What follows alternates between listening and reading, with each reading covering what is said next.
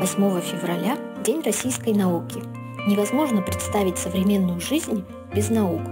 Испокон веков люди, познавая окружающий мир, совершали открытия. Многие из них облегчили жизнь человека, усовершенствовали ее. Вспомните школьные кабинеты. Со стен строго, иногда с подозрением, глядели на нас портреты серьезных ученых. Как много среди них было представительниц прекрасного пола – Конечно, по сравнению с XIX и XX веками, сегодня женщин-ученых гораздо больше, и это замечательно. Во многом это заслуга тех дам, кто, несмотря на недоверие, а порой и осуждение общественности, занимались делом жизни, потому что не могли иначе. Сегодня мы поговорим о первой в мире женщине-профессоре математики, известной, кроме того, и своими литературными произведениями. Софье Васильевне Ковалевской. Среди женщин-ученых мало было таких, которые обладали такими же уникальными способностями, как Софья Ковалевская. Даже среди мужчин немногие смогли в совершенстве постичь геометрию, астрономию, музыку, быть талантливыми в литературе, способными писать прекрасные стихотворения. Ковалевская – первая в России женщина-математик, ставшая профессором и получившая ученую степень. История Софьи Ковалевской стала бы отличным сценарием для фильма о любви, целеустремленности и науке.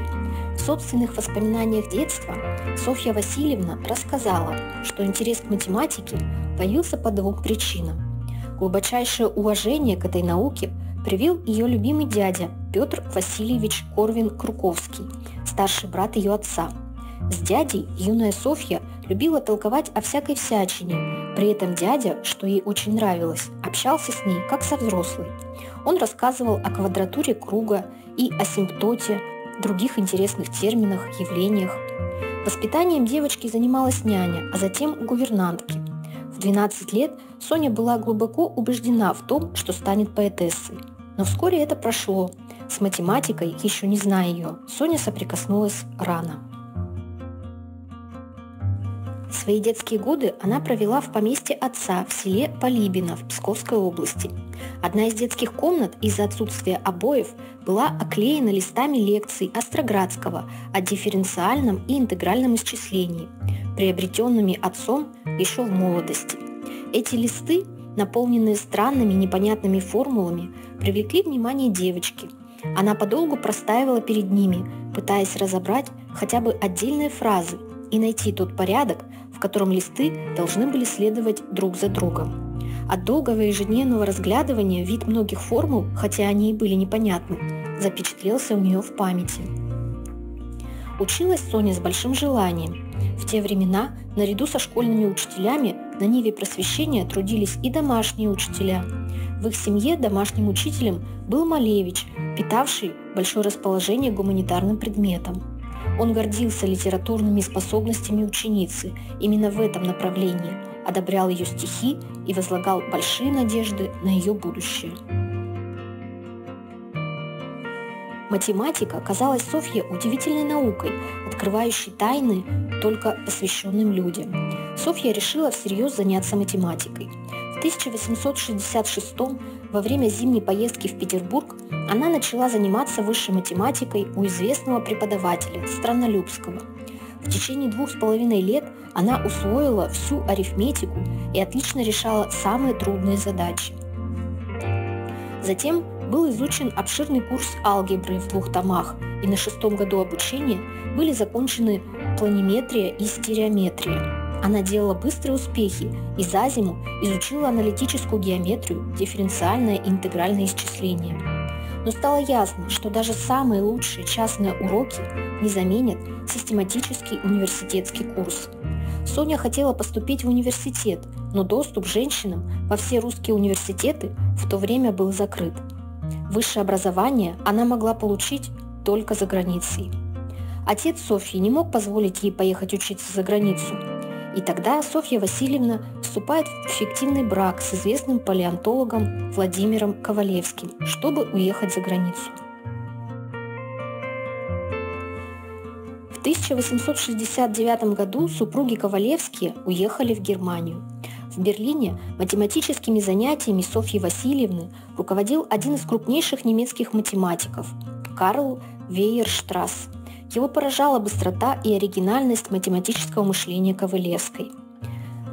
Математик, пораженный ее знаниями, стал хлопотать перед ученым советом о допуске ее к слушанию лекций, но совет был неумолим. Тогда он решил сам заниматься с талантливой женщиной. За неполных четыре года Ковалевская не только усвоила университетский курс математики, но и написала три работы. Вейерштрасс представляет эти работы в Геттингенский университет для присуждения степени доктора философии, подчеркивая, что для получения степени достаточно любой из этих работ. К теории дифференциальных уравнений в частных производных содержала доказательства таких решений таких уравнений. Наши дни эта важнейшая теорема о дифференциальных уравнениях называется теоремой Коши-Ковалевской. Другая работа содержала продолжение исследований Лапласа о структуре колец Сатурна. В третьей излагались труднейшие теоремы математического анализа. В 1874 году Ковалевской была присуждена ученая степень доктора философии с высшей похвалой. С этим дипломом она возвращается в Петербург и почти на 6 лет оставляет занятия математикой.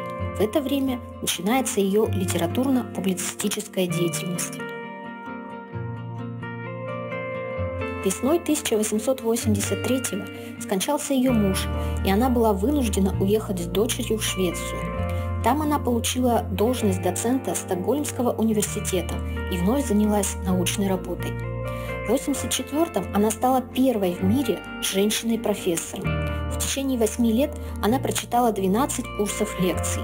Годы работы в Стокгольмском университете стал, стали периодом расцвета ее научной и литературной деятельности. В 1988 она написала свою основную работу «Задача о вращении твердого тела вокруг неподвижной точки», за которую получила премию Парижской академии наук – премию Бардена, причем сумма премии была увеличена ввиду высокого качества работы. В 1989 году она получила вторую премию Шведской академии наук за работу, посвященную также вращению твердого тела. Научные исследования Ковалевской принесли ей мировую славу. Через год по настоянию Чебышева и других русских математиков Петербургская академия наук избрала Ковалевскую своим членом-корреспондентом. Предварительно для этого было принято специальное постановление о присуждении женщинам академических званий. Но даже это не дало ей возможности получить соответствующую работу и вернуться на родину. Велики научные заслуги Софьи Ковалевской. Своим личным примером она много способствовала движению своей родины вперед и, несомненно, своими открытиями обогатила русскую культуру и науку. Я чувствую, что предназначена служить истине, науке и прокладывать новый путь женщинам, потому что это значит служить справедливости. Это девиз всей жизни, этой удивительной женщине, полюбившей свободу и математику.